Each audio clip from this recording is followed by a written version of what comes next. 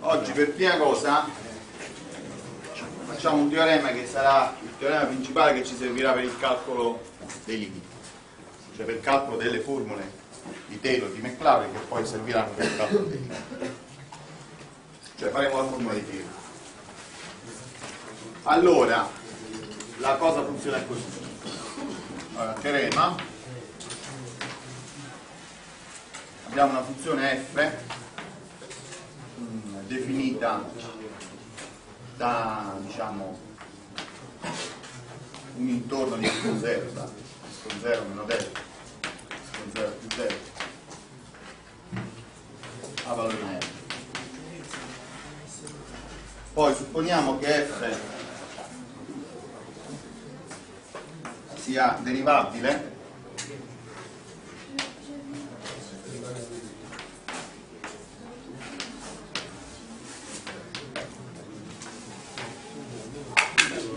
per ogni x appartenente all'insieme.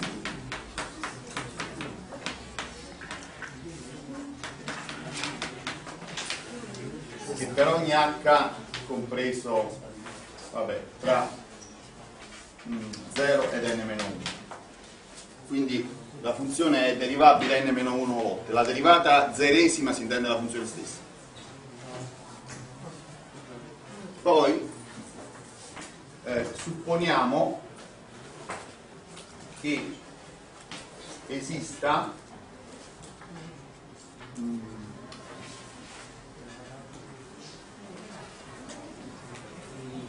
supponiamo anche che le derivate ehm, queste qui siano continue quindi diciamo scriviamo meglio f appartiene a cn-1 di x con 0 meno delta x con 0 più delta possiamo scrivere così. E poi supponiamo che esista la derivata ennesima di f nel punto x con 0 queste sono le ipotesi. Allora possiamo scrivere che eh, f di x è uguale a f x con 0 più f' x con 0 per x meno x con 0 più f secondo di x con 0 mezzo x meno x con 0 quadro più puntini. Qui ci mettiamo la derivata ennesima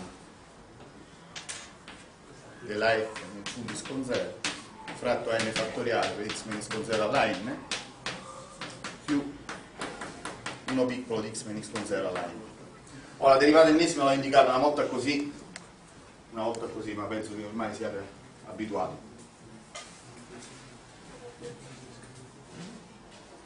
Uh, se vogliamo usare una, una continuo qui in alto possiamo anche scrivere somma per k che va da 0 a n derivata k della f fratto k fattoriale derivata k è valutata in punti con 0 per x meno x con 0 alla k più o piccolo x meno x con 0 ah. va bene questa è la eh, espressione alla quale vogliamo giungere. Eh, una ulteriore cosa che dimostreremo sarà che se invece ehm, diciamo f se f è derivabile n più 1 volte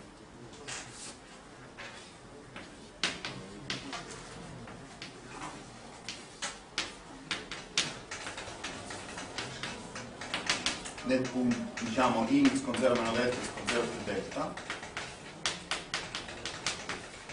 Quindi stiamo supponendo un po' di più.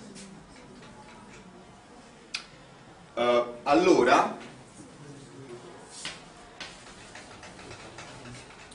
um,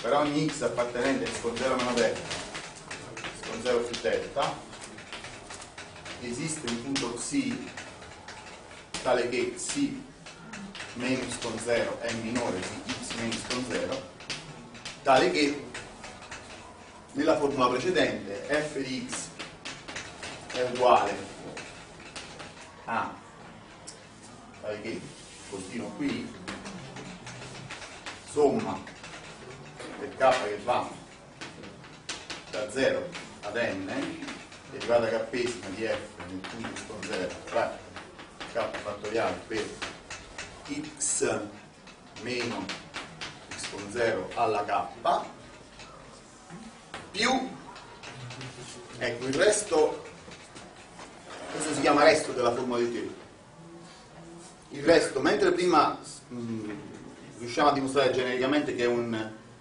infinitesimo di ordine superiore a n per x che tende a x con 0 qua possiamo scrivere che sostanzialmente è della stessa forma di prima solo che deve essere valutato in questo punto. Quindi questa è la derivata n più unesima fratto n più 1 fattoriale per x meno con 0 questo è l'enunciato. Quindi già l'enunciato non è eh, eh, non è particolarmente difficile è soltanto che è un po' articolato. Adesso lo rivediamo, lo rileggiamo dobbiamo capirlo bene. Allora noi abbiamo una funzione quello che vogliamo è che il punto dove vogliamo calcolare la formula di Taylor sia, diciamo, interno al dominio. Quindi vogliamo poter calcolare la funzione in tutto l'intorno di questo punto. Quindi per semplificare la cosa io ho preso direttamente un intervallo di con 0. Poi suppongo l'ho fatto anche, ho scritto x con 0 meno delta, x con 0 più delta, per sottolineare il fatto che ehm, tutto quello che andremo a dire avrà un significato locale. Questa informazione qua, diciamo, noi abbiamo che la funzione si scriverà come un polinomio di grado n più un resto. Questo resto, su questo resto abbiamo è, è chiaro che ogni cosa si può scrivere come, diciamo, se io prendo B, posso scriverlo come, prendo A, posso scriverlo come A meno B più B, posso sempre sottrarre qualcosa e poi riaggiungerla. La cosa importante è sapere delle informazioni su A meno B, cioè sul resto. Allora, l'unica informazione vera che abbiamo sul resto qui è che è un infinitesimo di, per x che tende a sconzare di ordine superiore a n, cioè un'informazione di carattere locale. Quindi questo resto possiamo in qualche modo trascurarlo rispetto ad altre cose quando siamo molto vicini a x con 0. Quindi questo è il tipo di eh, informazione alla fine che otteniamo. Otteniamo una certa struttura per la f come un polinomio somma di, anzi, somma di vari pezzi, pezzo di grado 0, pezzo di grado 1, pezzo di grado 2, pezzo di grado n, che data diciamo, rispetto a x meno x con 0 sono proprio dei monomi di grado 0, 1, 2, n, più un resto, che è un infinitesimo sempre per x tende a scontato di ordine superiore a n. Inoltre, se la funzione, e questo lo faremo in ipotesi, non sono proprio, cioè, eh, diciamo, le ipotesi in teorema sono sempre condizioni sufficienti affinché il teorema valga, è difficile, diciamo, quando sono necessarie e sufficienti viene messo in evidenza. Quindi, però, abbiamo in qualche modo cercato di limare le ipotesi il più possibile, cioè la funzione è derivabile n-1 volte con continuità in tutto, in tutto l'intorno e poi è derivabile una ennesima volta solo nel punto con 0. Questa è l'ipotesi della prima parte del teorema. In questa ipotesi noi riusciamo a ottenere che quella differenza, quel resto, è 1 piccolo di x meno con 0 alla n. Se poi supponiamo qualcosa in più, cioè che la funzione sia derivabile n più 1 volte, essendo derivabile n più 1 volte, qua non serve la continuità delle derivate, perché se è derivabile n più 1 volte, fino all'ennesima volta sicuramente sono continue, perché sono derivabili e quindi continue. Ah. Qui invece la derivata n meno unesima, se non ce lo scrivo, potrebbe non essere continua. È chiaro? Se non ce lo scrivo qua. Le altre ovviamente essendo derivabili sono continue però insomma è l'ultima che potrebbe dare problemi. Uh, quindi se suppongo sostanzialmente l'esistenza di un paio di derivati in più perché da n-1 fino a n più 1 ci sono due derivati in più uh, allora non solo posso scrivere la mia formula ma posso dare al mio resto una forma precisa, precisa, più esplicita. Il mio resto sarà eh, x meno x con 0 alla n più 1, vedete che quando x tende a x con 0 questo si, eh, diciamo, fratto x meno x con 0 alla n tende a 0, poi qua c'è n più 1 fattoriale sotto, e qui che cosa c'è? C'è la derivata n più unesima calcolata dove? Eh, non lo so, questo dipende dalla, diciamo, dalla funzione. Poi vedremo che nel teorema l'unica cosa che potremo dire su questo punto xi è che eh, possiamo sceglierlo compreso tra x con 0 e x. Compreso tra x con 0 e x è improprio perché se, eh, va bene se x è maggiore di x con 0, altrimenti se x è minore di x con 0 devo dire compreso tra x e x con 0. Un modo per dire la stessa cosa da tutte e due le parti è che la distanza di x da x con 0 è minore della, di xi da x con 0 è minore della distanza di x da x con 0 cioè xi in ogni caso è più vicino a x con 0 quindi è compreso tra x con 0 e x quando stiamo a destra oppure è compreso tra x e x con 0 quando stiamo a sinistra quindi questa è la struttura della formula ok? Uh, questa formula è di un'importanza uh, vitale per fare eh, calcoli, per fare limiti per fare eh, tutta un'altra serie, una serie di cose. Ok.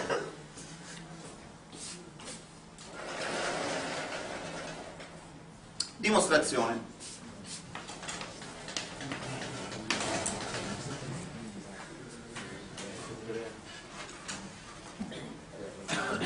Allora, facciamo così. Io chiamo uh, Pn-1 uh, dovrei dire f x con 0 x. All'inizio lo chiamo uh, facciamo scriviamolo così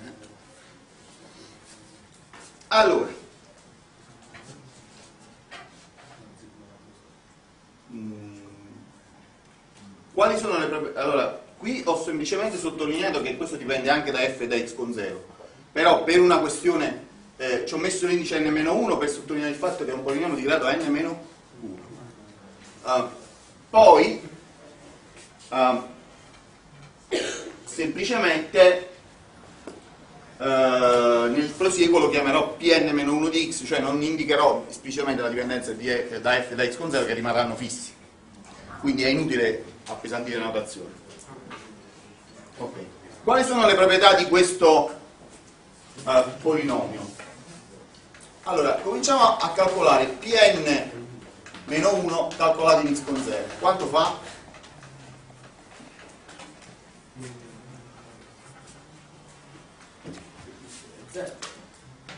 No.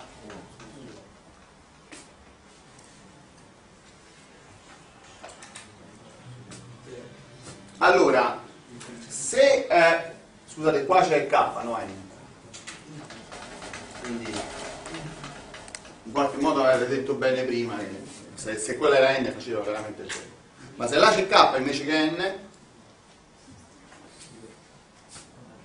quanto fa adesso?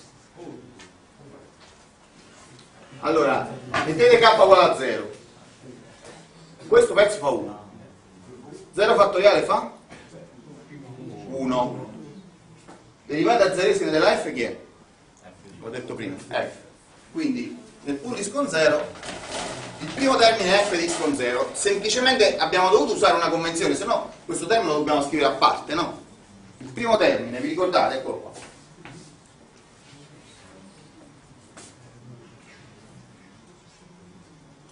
adesso andiamo a fare la derivata prima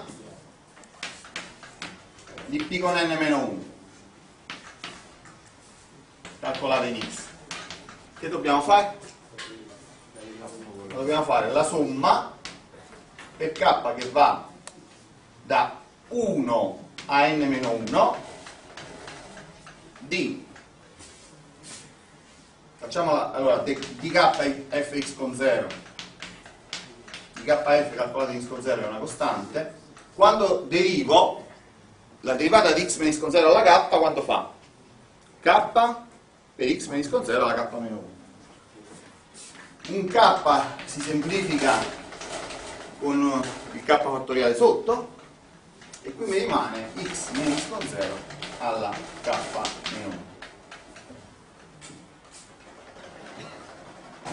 in generale se faccio la derivata hsima di p con n meno 1 calcolata in x questo vale somma per k che va da n meno 1 eh, scusate da h fino a n-1 della derivata k, k scusate, di f in x con 0 fratto k meno h fattoriale per x meno x con 0 alla k meno h. Allora, e questo vale per eh, h che è compreso tra eh, 1 tra 0 e n-1. In verità vale sempre. Uh, la derivata ennesima di p con n-1 calcolato in x invece è nulla. Qua per, la, per meglio scrivere ci vorrebbero delle varianti. Ok, allora Andiamo a verificare queste, queste proprietà. Beh, questo è banale, perché quello era di grado n-1, un polinomio di grado n-1, se lo derivo n volte, eh, fa 0. No? Quando un polinomio di grado 3 lo derivato 3 volte viene costante, la quarta derivata fa 0. Adesso, ritorniamo qui, perché vale questa? L'abbiamo visto, ma voglio anche sottolineare il fatto che qua k parte da 1, perché il primo termine era la costante, allora la derivata del primo termine è 0. Quindi, eh, in quella espressione vale sì che la derivata del singolo pezzo al singolo pezzo, ma vale anche il fatto che il primo pezzo era la costante, quindi la derivata fa 0. E quindi è inutile scrivere k che parte da 0, anzi sarebbe impreciso, perché qua k potrebbe se ci metto 0 diciamo, l'esponente diventerebbe meno 1 e non va bene. Eh, quindi qua k deve partire da 1 similmente quando derivo la seconda volta eh, qua mi scende un k meno 1 che si semplifica con k meno 1 fattoriale e mi viene k meno 2 fattoriale sotto qua mi viene k meno 2 tutto il resto rimane uguale ma k partirà da 2 per quale motivo partirà da 2? perché i primi due termini erano il termine di grado 0 e il termine di grado 1 quando li derivo due volte il termine di grado 0 è già sparito alla prima derivata, il termine di grado 2 sparisce, eh, il termine di grado 1, scusate, sparisce alla seconda derivata. Quindi in generale, quando ripeto questa operazione h volte, non succede altro che qui mi scende l'esponente ogni volta di 1, quindi alla fine arrivo a k meno h. Qui ho, avrò k meno h fattoriale perché k, k meno 1, k meno 2, k meno h più 1 si sono tutti semplificati ma ulteriormente devo far partire la somma da eh, h perché tutti i termini di grado minore di h derivando h volte si sono, annullati. Quindi questa è già una prima cosa che insomma eh, non è difficile, ma eh, fateci un po' di attenzione perché eh, se preferite vi faccio le prime derivate eh, diciamo usando la eh, eh, scrittura per esteso. Però vi dovete anche diciamo, abituare, abituare a, a derivare una sommatoria dipendente da alcuni indici. Ok. Allora adesso andiamo a valutare quindi le derivate intermedie nel punto di vabbè questa va 0 dappertutto. La funzione del punto di con 0 faceva f di con 0 la derivata prima del polinomio in x con 0 quanto fa? beh qui l'unica volta che il grado è 0 è quando k uguale 1 quando k uguale 1 questo alla 0 si intende 1 sempre per convenzione perché diciamo in 0 sarebbe 0 alla 0 che non è definito ma per convenzione si intende 1 1 meno 1 fa 0, 0 fattoriale fa 1 e cosa mi rimane? Derivata prima di x con 0.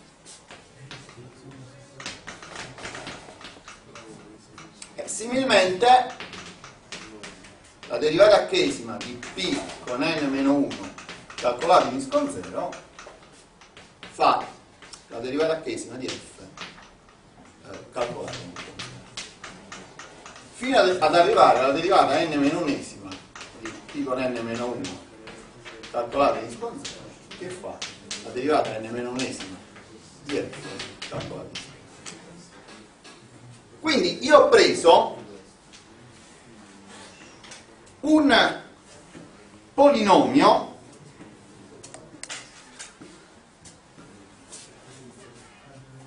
che ha questa, sostanzialmente questa proprietà. A grado n-1 le derivate nel punto x con 0 coincidono con la derivata di f fino all'ordine n-1 quindi coincide il valore della funzione diciamo il polinomio ha lo stesso valore della funzione nel punto x con 0 la derivata prima ha lo stesso valore della funzione f nel punto x con 0 la derivata seconda ha lo stesso valore che è una richiesta del tutto naturale no? se ci pensate tutto questo ambaradane che abbiamo fatto fino ad ora è in realtà del tutto naturale perché se allora eh, lasciamo stare che diciamo, qualcuno potrebbe aver notato che qui la formula vale fino a n non fino a n-1 però nella dimostrazione eh, mi servirà questo polinomio fino al grado n-1 però in linea generale se io voglio approssimare una funzione con un polinomio è naturale che il polinomio diciamo, vicino a x con 0, è naturale che chiedere che eh, il polinomio abbia lo stesso valore di f in x con 0. Poi una volta che non posso, siccome chied posso chiedere solo cose in x con 0, una volta che ho chiesto questa informazione, che ho imposto questa condizione, eh, che cosa posso fare? Posso imporre qualche condizione sulla derivata prima, ah, altro non posso fare, sto in un punto. Io di questa, diciamo, funzione cosa conosco? So soltanto che è derivabile quindi nel punto x con 0 conosco solo la funzione, derivata prima, derivata seconda, derivata hesima, la derivata n meno unesima e poi ho altre cose che serviranno più tardi. Ma se voglio partire con un tentativo di approssimazione della funzione f con un polinomio, la cosa più naturale di questo mondo è pretendere che questo polinomio abbia in x con 0 lo stesso valore della funzione, lo stesso valore della derivata prima della funzione, lo stesso valore della derivata hesima della funzione, fino a al grado di quel polinomio, cioè fino a n-1. Dopo non posso pretendere più niente perché la derivata del polinomio mi farà sicuramente 0. Ci siamo fino a qui? Quindi, una volta che, diciamo, se voi prendete questa formula, questa formula qui, il polinomio tutte soddisfa tutte queste condizioni qui. Viceversa, se dovete soddisfare queste condizioni qui, il polinomio deve essere fatto per forza così. È evidente che si, qua si può tornare indietro. No? Se prendo questo polinomio, soddisfa queste condizioni. Se soddisfa queste condizioni, è questo polinomio. Ci siamo fino a qui. Non c'è nulla di trascendentale. Ok, quindi questo qui è un polinomio che, diciamo, abbiamo fissato e sarà eh, ci servirà nella dimostrazione. Sì. La derivata di n, di n-1 è di x o di x con 0? Di x. Per quale motivo? Perché eh, diciamo le altre le valuto in x con 0 perché sono polinomi. Eh, l'ultima in verità potrei anche mettere l'ultima x perché è già una co- costante. Quindi queste, queste no, variano quando x varia, ma l'n-esima e l'ennesima sono costanti e quindi le posso calcolare nella x che mi pare perché tanto va bene? ok quindi fatto, stavolta mi ha fatto piacere la domanda perché così vuol dire che uno sta cercando di mettere a fuoco la situazione. Va bene. Allora abbiamo fatto questa posizione. Adesso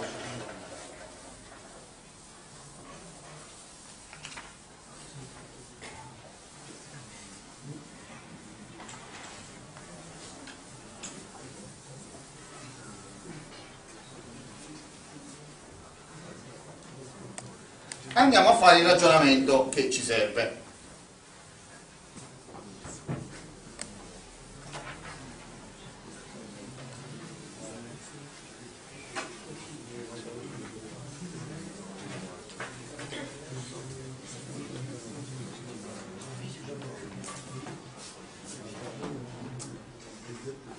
Eh, D'ora in poi, per questione di semplicità, Suppo- suppongo che x, scusate, sia maggiore di x con 0. Suppongo di trovarmi alla destra di x con 0. Ovviamente un, un discorso perfettamente analogo lo posso fare a sinistra. In, ma- in maniera tale che posso fare anche un disegno. Poi Un'altra cosa che vado a considerare questa funzione phi di x, o per la precisione dovrei dire phi n-1 di x, cioè la funzione f meno phi con n-1 di x. Questa funzione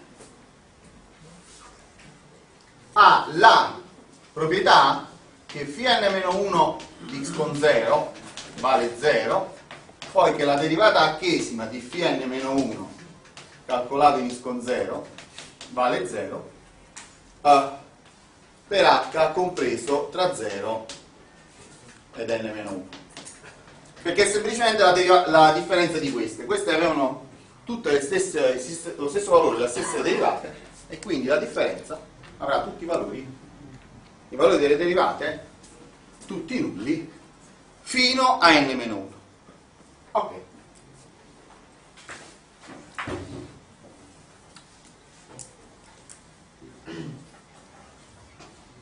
Va bene allora io scrivo f di x meno f di x con 0 fratto x meno con 0. Questo chi è? È il rapporto incrementale della f. Ma questo lo posso anche scrivere così. Lo posso scrivere come eh, phi di x, vediamo un po'. Um,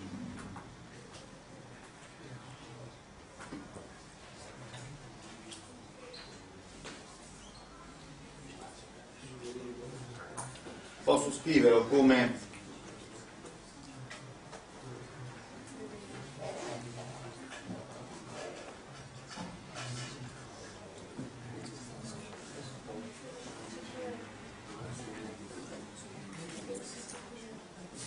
Ah, scusate, qui devo scrivere fratto x meno x con 0 ho sbagliato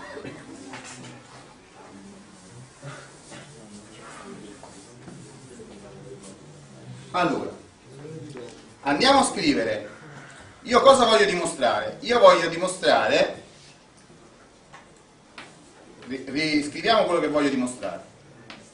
Io voglio dimostrare che il limite per x che tende a x con 0 di f di x meno p con n di x fratto x meno x con 0 e questo sia uguale a eh, 0 ok?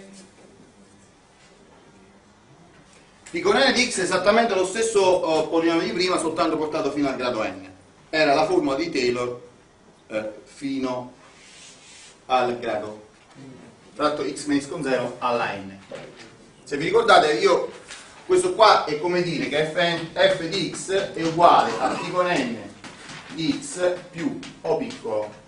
Dire questo e dire questo è la stessa cosa, va bene?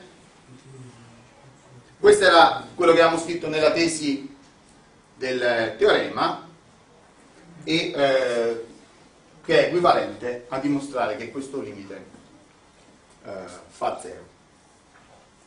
Ok. Uh,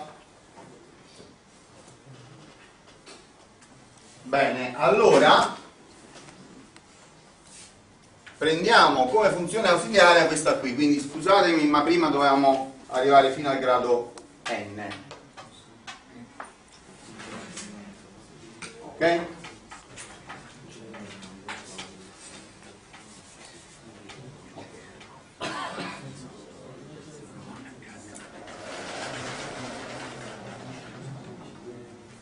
è pure più semplice la notazione, va bene. Cancelliamo, facciamo per bene.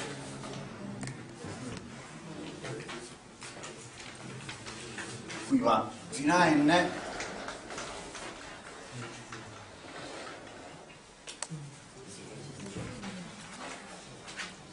Qua va fino a n. Qua ci deve mettere n più 1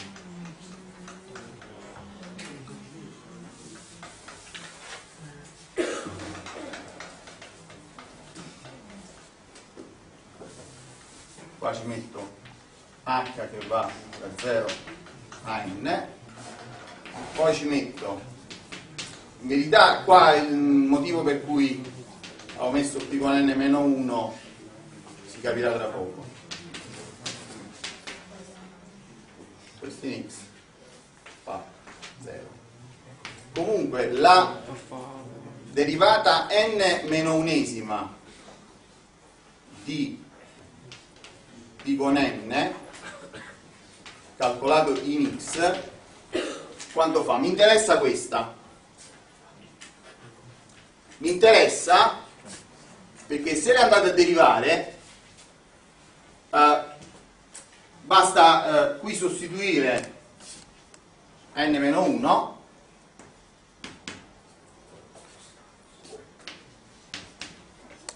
e allora quanto viene?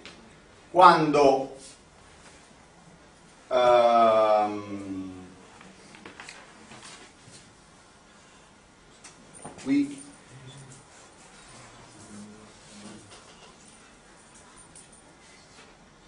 Sì. Allora.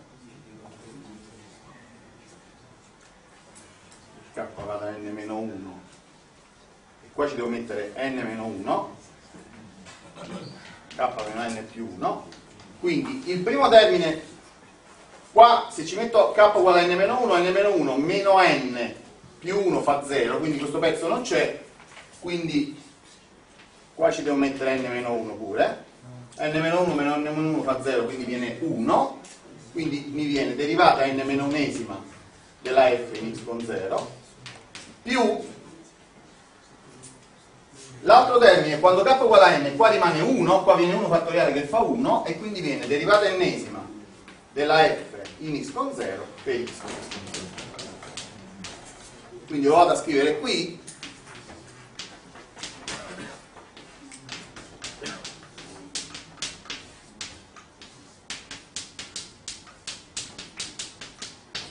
Quindi non è altro che l'esercizio precedente eh, diciamo, abbiamo messo n al posto di n-1, ma oltretutto ho voluto calcolare la penultima derivata in maniera esplicita. Uh, torna tutto perché adesso il polinomio è di grado n, la derivata n meno unesima è, deve essere un polinomio di grado 1, così come la derivata ennesima. Questo sarebbe uh, è, è, ovvio qua viene questa costante derivando questo viene questa costante ma la derivata ennesima di f calcolata in con 0 effettivamente è questa costante. Uh, poi dalla derivata n più unesima in poi invece ovviamente essendo il polinomio di grado n fa tutto 0 allora lo ripeto. Il polinomio l'abbiamo preso uguale all'approssimazione di Taylor ah, l'abbiamo preso di grado n, quindi quella forma l'abbiamo presa fino a n, abbiamo riverificato quello che già sapevamo, cioè che le derivate fino al grado n coincidono con le derivate della funzione x con 0, ma ulteriormente abbiamo voluto esplicitare la penultima derivata. La penultima derivata ovviamente è un polinomio di grado 1 ed è questo polinomio di grado 1 qua. La derivata ennesima è questa costante qua, la derivata n più ennesima è 0. Allora, torniamo alla dimostrazione. Adesso la dimostrazione consiste nel dimostrare eh, che questa differenza è un infinitesimo di ordine superiore a n. La f meno la sua approssimazione fratto x meno con 0 alla n deve tendere a 0. O lo scrivo così o lo scrivo così, è la stessa. Quindi, siccome quella differenza io l'ho chiamata figo n, andiamo a scrivere figo n, il numeratore di quella differenza. Andiamo a scrivere figo n di x fratto x menis con 0 alla n. Allora, anzi, facciamo tutti i passaggi. f di x meno figo n di x fratto x menis con 0 alla n è uguale a figo n di x fratto x menys con 0 alla n. Vabbè, questo perché semplicemente il numeratore l'ho chiamato figo n di x. Poi, questa funzione che proprietà ha? Che il valore del punto x con 0 vale 0. Quindi io posso scrivere figo n di x meno figo n di x con 0 fratto x menys con 0 alla n. Adesso c'è il punto chiave del teorema.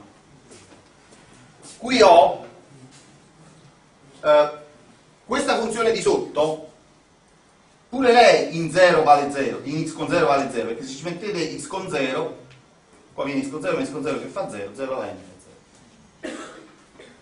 Quindi volendo proprio spaccare il capello in quattro, qua ci possiamo scrivere x con 0, x con 0 alla n, meno x con 0 x meno con 0 alla n x con 0 meno x con 0 alla n. Questa qui è una banalità semplicemente perché sia questo che questo fanno 0. Quello di numeratore fa 0 per costruzione e il denominatore, insomma, questo, questo pezzo qui del denominatore è chiaro che fa 0, basta guardare. Uguale, a questo punto cosa abbiamo? Noi abbiamo eh, un rapporto che è un rapporto al quale possiamo applicare il teorema di Cauchy. Cioè abbiamo, se questa per un attimo la chiamate di nuovo f, ma non è la f di v, e questa funzione la chiamate g, avete f di x meno f di x con 0 fratto g di x meno g di x con 0. È chiaro? Quindi, e che cosa dice il teorema di Cauchy? Il teorema di Cauchy dice che esiste un punto che chiamerò x con 1 in cui eh, se voi avevate f di b meno f di a fratto g di b meno g di a questo era uguale a f' di xi fratto g' di xi in un punto intermedio. Queste non sono la f, g, la f, la f non è la stessa di prima. Sto solo ricordando l'enunciato del teorema di Cauchy. Allora la f è la nostra φ, φn la g di x è questa funzione qua. E xi, siccome xi me lo dà il teorema di Cauchy, siccome il teorema di Cauchy lo dovrò applicare altre volte, xi lo chiamo xi con 1. Quindi andiamo a scrivere. Questo è uguale a fn oppure scriviamo derivata di φ con n, calcolato in xi con 1, fratto g'. Chi è g'? Se g di x è uguale a x meno x con 0 alla n, g' di x è uguale a n per x meno x con 0 alla n meno 1. Poi la devo valutare in xi con 1 e quindi qua mi viene n per xi con 1 meno x con 0 alla n meno 1. Ma io adesso cosa faccio?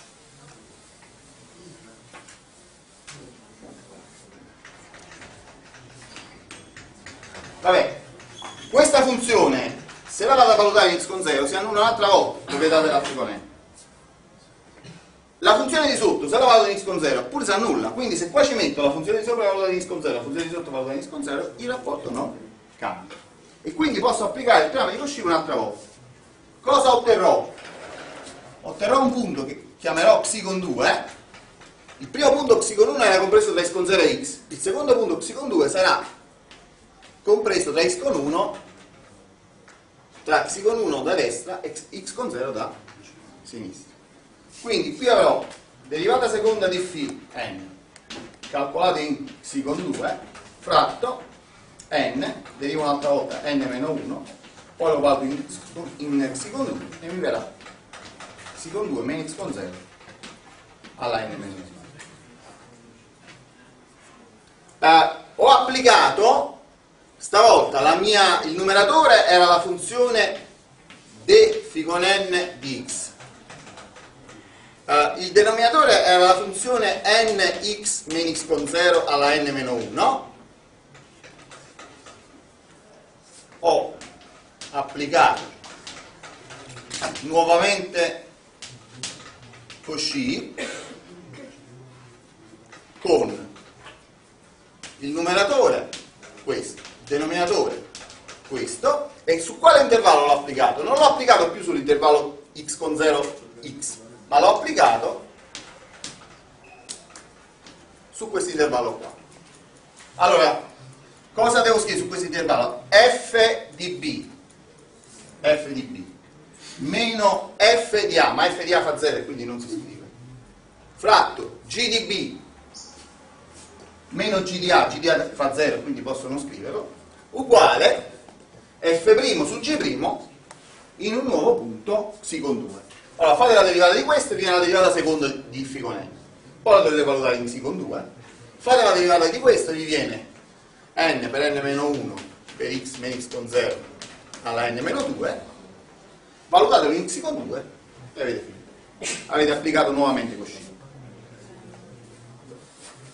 Ok, allora, se io continuo così e lo applico h volte, arriverò a, sopra mi verrà la derivata chesima di figonelli in x con 2, eh, sopra mi viene n per n-1 per n meno h più 1 per x meno x con 0 alla n meno h. Uguale. Fin dove continuo. Il teorema lo applico n-1 volte. E quindi teorema di Cauchy posso farlo? Fin quando allora tutte queste funzioni qui al denominatore. Fin quando questo esponente è positivo in con 0 fanno tutte 0 e quindi posso continuare. Al numeratore pure perché in con 0 sono diciamo la con n eh, ha tutte le derivate nulle, nulle fino all'ordine ennesimo. Quindi io potrei applicare eh, questo teorema eh, anche una volta in più, ma comunque appli applichiamolo eh, fino a meno 1 volte. Se lo applichiamo a n-1 volte qua mi esce la derivata n-1esima di φn. valutata in xi con n meno 1.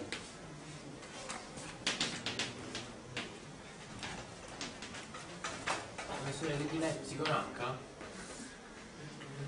Dove? Derivati H, psi con n. No, no, psi con n. Eh, no, psi con n. Ah, psi con h, sì. Ovviamente non era più psi con 2, ma era h. Sotto, adesso, sotto dobbiamo derivare n-1 volte. Quindi qua mi viene n per n-1, se ci fate caso qua mi viene 2. Perché h è uguale a n-1.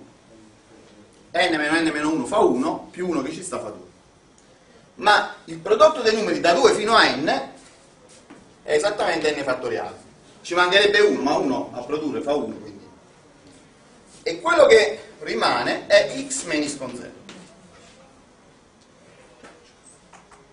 Ok? Quindi adesso voi ce l'avete scritto sul quaderno, io qui l'ultima riga ho bisogno di cancellarne un pezzetto. Io cosa ho dimostrato?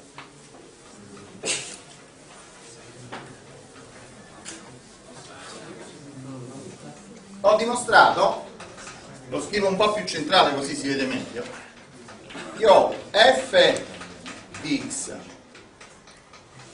a meno p con n di x fratto x menis con 0 alla n.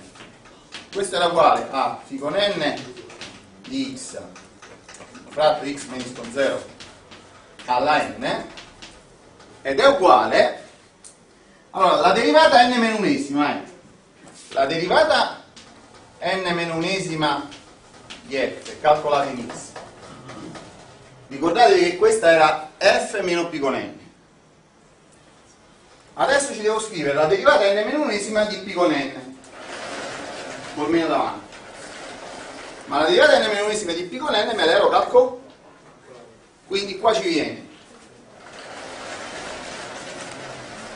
meno eh, la derivata n meno unesima di f x con 0 meno la derivata ennesima di f x con 0 per x meno con 0 tutto fratto x meno x con 0 per n.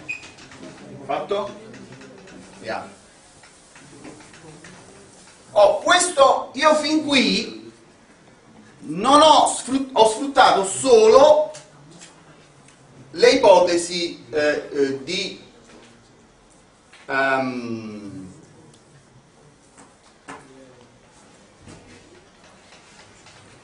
differenziabi- diciamo di derivabilità fino all'ordine. Non ho sfruttato altro. Adesso questa quantità la posso scrivere anche così. Questo pezzo qui lo posso scrivere, lo posso dividere per il denominatore e la posso scrivere meno derivata ennesima di f in con 0 fratto n. Adesso fate tendere x a x con 0.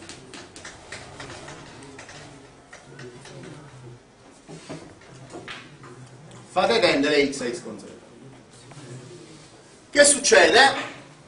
Ah, scusate, questo era uguale, qua ci devo mettere non x, ci devo mettere x con n meno 1.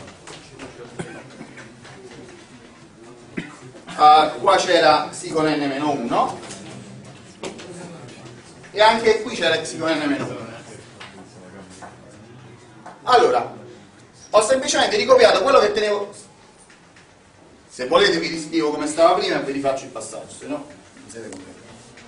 Questo era meno derivata ennesima di f in x con 0 per x con n meno 1 meno x con 0.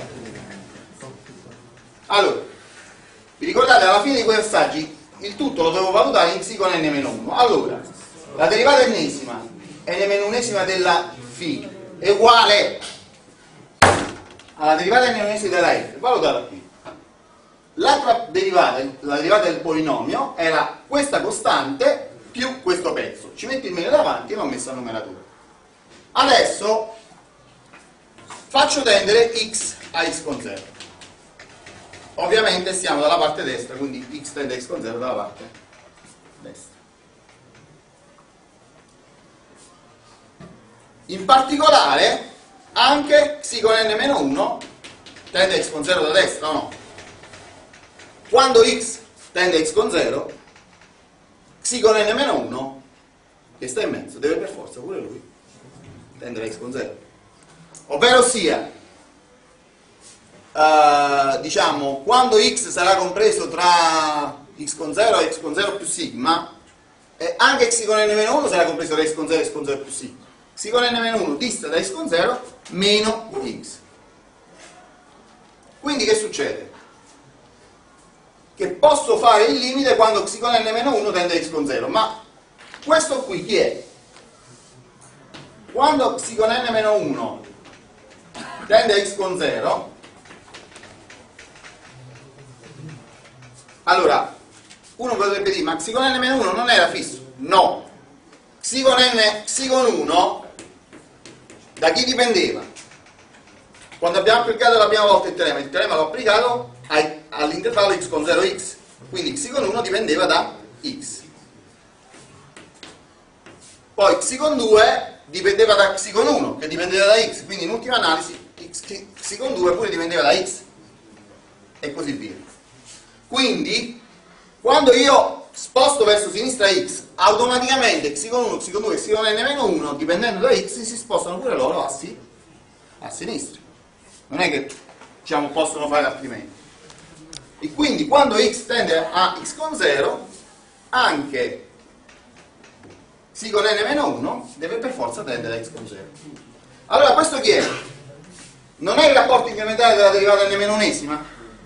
Vabbè c'è questa costante ma questa costante ce la, portiamo, ce la conserviamo perché le costanti passano fuori rispetto a lì. E questa cosa tende? tende alla derivata ennesima di f de alla derivata della derivata n-esima chi è la derivata della derivata n-esima? è la derivata ennesima. Fratto n fatto? E l'altro pezzo? L'altro pezzo è proprio la derivata ennesima fratto n fatto fattoriale. Semplificate pezzo lineare quindi ovviamente la differenza allora questo tende a questo questo è uguale a questo e allora la differenza tende a 0. È chiaro? Se volete, l'altro pezzo si poteva fare facendo un ulteriore passaggio come stavo facendo prima, meno derivata ennesima di f in x con 0 fratto n fattoriale. Allora questo tende alla derivata ennesima di f in x con 0 fratto n fattoriale e quindi la differenza tende a 0 che è quello che volevamo dimostrare che è quello che volevamo dimostrare ah, adesso abbiamo dimostrato la prima parte del teorema. Se vi ricordate c'era una seconda parte. Per dimostrare la seconda parte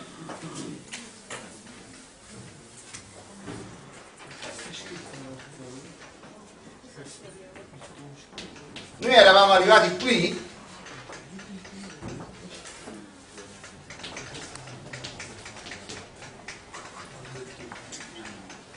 era phi con n meno 1 derivata n meno unesima di phi con n di x calcolato nel punto psi con n meno 1 fratto n fattoriale per psi con n meno 1 meno x con 0 eravamo arrivati qui. E poi invece di proseguire avevamo fatto un limite adesso facciamo applichiamo il teorema un'altra volta. Quindi applichiamolo un'ulteriore volta. Quindi qua cosa mi verrà? mi verrà la derivata ennesima. Questo perché lo posso applicare ancora perché la derivata n-esima di φ con n in eh, x con 0 vale 0 quindi applichiamo un'ulteriore volta e mi viene derivata ennesima di φ con n calcolato in x con n fratto. Ecco adesso quando vado a derivare un'ulteriore volta mi, qua mi esce semplicemente n fatto fattoriale adesso se andate a scrivere questo non è altro che la derivata ennesima della f calcolata in x con n meno la derivata ennesima della f eh, calcolata scusate. Ho sbagliato nel senso che qui non devo modificare solo quello che sto scrivendo è giusto ma non devo modificare solo l'ultima parte solo il numeratore. Modifichiamo anche il denominatore. Qua partiamo da n più 1 se parto da n più 1 qua mi viene quadrato e qua mi viene il prodotto n più 1 mm, fino a 3 quando lo applico un'ulteriore volta mi viene n più 1 fattoriale e qua mi rimane x con n meno x n Perché fino a 3? perché devo fare n più 1 eh, meno eh, n meno 1 che fa 2 più 1 che fa 3 eh, se tu eri partito da n eri arrivato a 2 il quadro, ricordi? se parti da n più 1 arrivi fino a 3 quindi è esattamente lo stesso procedimento soltanto che al denominatore si prendeva un esponente in più. Allora poi potevamo fare anche un passaggio in più perché in realtà eh, poi potevamo fare ancora un passaggio in più perché ancora φ con n nel punto x con 0 la derivata ennesima di φ con n nel punto x con 0 faceva 0 se vi ricordate. Quindi qua posso scrivere derivata n più unesima di φ con n valutato nel punto x con n più 1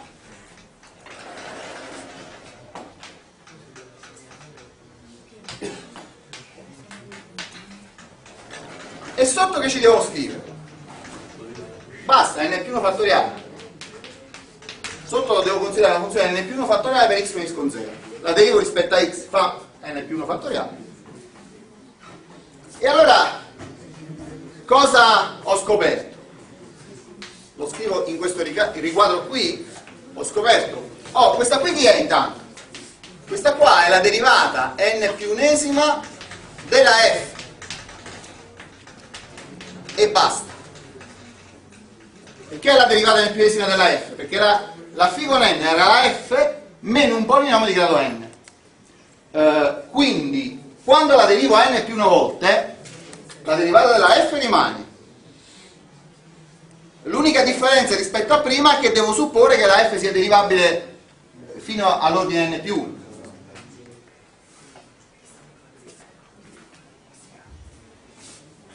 Invece la derivata di p con n scompare perché stavolta il p con n è un polinomio di grado n l'abbiamo derivato n più una volta e quindi è scomparso. E quindi alla fine cosa possiamo scrivere? Possiamo scrivere che f di x è uguale a derivata n più unesima della f calcolata nel punto l'abbiamo chiamato con n più 1 per x meno x con 0 alla n più 1 stavolta è x perché x stava a sinistra quindi. Più una volta che prendiamo questo e lo portiamo a destra poi c'era fratto n più 1 fattoriale qua questo di n più 1 fattoriale per quel pezzo che stava a sinistra l'abbiamo portato a destra più p con n di x che stava a sinistra e adesso lo portiamo a destra pure. Che è esattamente la formula che volevo dimostrare. Quindi era f era il suo diciamo veniva dato come somma di due pezzi. Il suo polinomio di Taylor più il resto Mentre prima avevamo soltanto dimostrato che quando lo x messo con 0 alla n tendeva a 0, stavolta il resto, ho trovato un'espressione esplicita per il resto che non è altro che la derivata n più enesima della f eh, calcolata in un punto. Adesso io questo punto l'ho chiamato xi con n più 1, ma potete anche chiamarlo sì e basta, perché l'unica cosa che io so di questo punto cos'è? È che xi è compreso tra x con 0 e x. Questi punti, vabbè, io l'ho fatti con una certa spaziatura, ma potevano stare tutti molto vicini a x, molto vicini a x con 0. Ogni volta però so che quando eh, passo da un uh, punto al successivo eh, mi devo spostare verso sinistra e quindi rimango sempre nell'intervallo x con 0 x. Quindi alla fine il mio xi sarà nell'intervallo x con 0 x. E quindi abbiamo ottenuto questa espressione. Se facevamo il discorso da sinistra ottenevamo la stessa eh, espressione semplicemente tutte le disuguaglianze erano rovesciate e quindi il punto xi invece di essere compreso tra x con 0 e x sarebbe stato compreso tra x e x con 0 basta. Teorema. È dimo, dimostrato quindi abbiamo dimostrato il teorema in tutte e due le varianti. Allora se ci fate caso se ci fate caso uh, quale ipotesi abbiamo uh, utilizzato in effetti eh, nella prima variante abbiamo utilizzato il fatto che la funzione fosse derivabile n-1 volte all'intorno del punto e un'ennesima volta all'intorno del punto. Il fatto che eh, quindi mh, diciamo per fare l'ultima derivata, l'ultima eh, derivata l'avevamo fatta come limite. Vabbè, qua ho cancellato, ma l'ultima derivata è stata fatta come limite, quindi non applicando il teorema di Cauchy, quindi quell'ipotesi che io avevo messo che la funzione fosse di diciamo che, l'ultima derivata, eh, la n-unesima, nella prima variante, fosse continua non serve neanche. Così, eh, diciamo, quando stavo a scrivere le ipotesi mi sembrava che servisse, allora ce l'ho messa, per essere sicuro, ma in realtà non serve. Uh, invece nella seconda variante mi servono le derivate fino all'ordine n più 1 e non solo nel punto. Quindi attenzione, guardate la, la differenza. Se io voglio scrivere il resto allora, riscriviamolo per, per, per esplicitamente così. Io ho ottenuto due formule. E adesso le riscriviamo.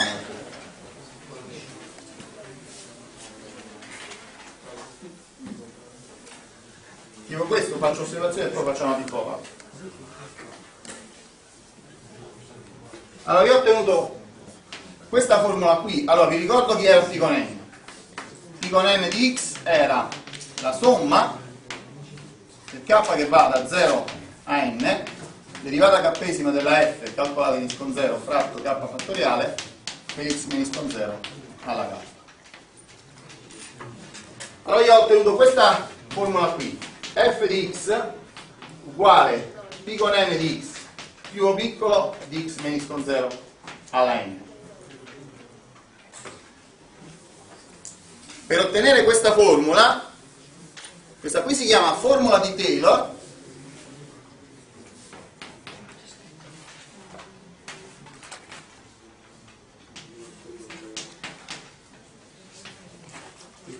formula di Taylor, per la funzione f nell'intorno del punto x con 0 con resto in forma di peano Allora, per dimostrare questa formula io ho usato il fatto che la f fosse eh, derivabile n-1 volte e che avesse la ennesima derivata ma solo nel punto con 0. Questo era quello che eh, mi bastava per dimostrare questa formula. L'altra era π con n di x più derivata n più unesima della f in un punto xi fratto n più 1 fattoriale per x meno con 0 alla n più 1 dove io so che x meno con 0 è minore di x meno con 0 e questa qui si chiama formula di Taylor con resto in forma di Lagrange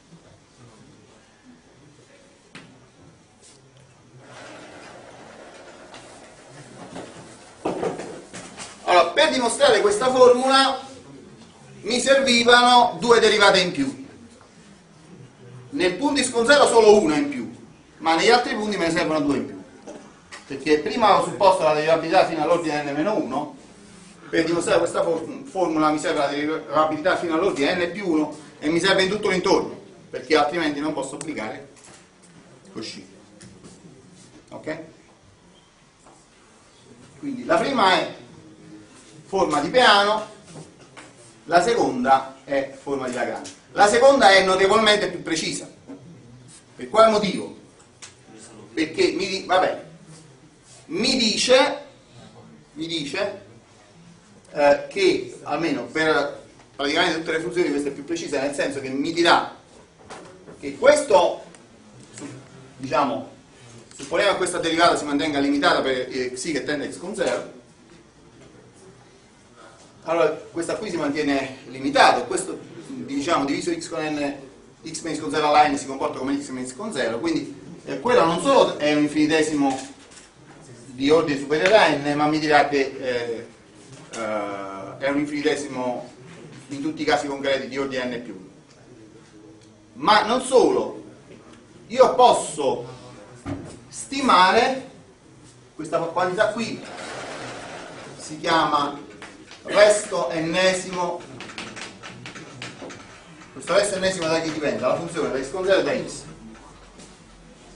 che è uguale quindi il resto ennesimo. Qui non lo posso stimare esplicitamente eh, lì lo posso stimare esplicita. Esplicitamente. Ok. Vediamo un po' se ora Ok, possiamo 5 minuti.